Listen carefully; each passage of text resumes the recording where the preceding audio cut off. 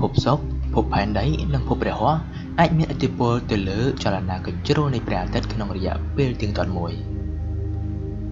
ការសិក្សាថ្មីមួយបានបង្ហាញថាដែនកម្លាំងនៃដែនម៉ាញ់ទិករបស់ភពសុក្រភពព្រះហស្ថនិងភពផែនដីប្រហែលអាចជាបកស្រាយនៅអកម្បាំងវត្តសកម្មភាពរយៈពេល11ឆ្នាំរបស់ព្រះអាទិត្យ នេះបើតាមការដកស្រង់ចេញពី website សារព័ត៌មាន Spec នៅថ្ងៃប្រហ័សទី20ខែមិថុនាឆ្នាំ2019នេះក្រុមការងារស្រាវជ្រាវពីសាកលវិទ្យាល័យស្រាវជ្រាវ HZWOS ក្នុងទីក្រុង Drandens របស់ប្រទេសអាល្លឺម៉ង់បានសិក្សាឃើញថាស្រទាប់ម៉ាញ់ទិករបស់ភពទាំងពីរខាងលើ មានឥទ្ធិពលទៅលើ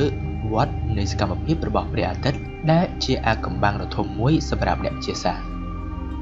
រជម្រាបថាតាមរយៈការប្រៀបធៀបលទ្ធផលអង្កេត នៃសកម្មភាពព្រះច័ន្ទរួមមានដូចជាចំណុចខ្មៅទៅលើព្រះអាទិត្យអណ្ដាតភ្លើងរបស់ព្រះអាទិត្យនិងការជះអណ្ដាតភ្លើងពីស្រទាប់កូរ៉ូណារបស់ព្រះអាទិត្យ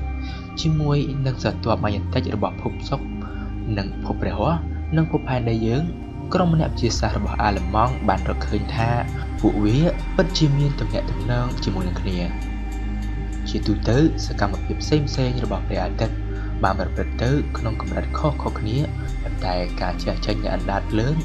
ឬព្យុះព្រះអាទិត្យធំបំផុតមួយនោះតែងតែកើតឡើងជាទៀងទាត់នៅក្នុងអំឡុងពេលរយៈពេល11ឆ្នាំម្ដង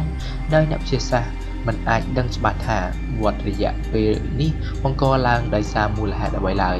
ដូច្នេះលទ្ធផលខាងលើនេះ អាចជាគន្លឹះសំខាន់ធំបំផុតមួយ នៅក្នុងការស្វែងរកអំពីទំនាក់ទំនងរវាងចលនាកញ្ជ្រោលនៃព្រះអាទិត្យជាមួយនឹងភពទាំងប៉ុន្មានខាងលើ ដែលគួចជុំវិញព្រះអាទិត្យ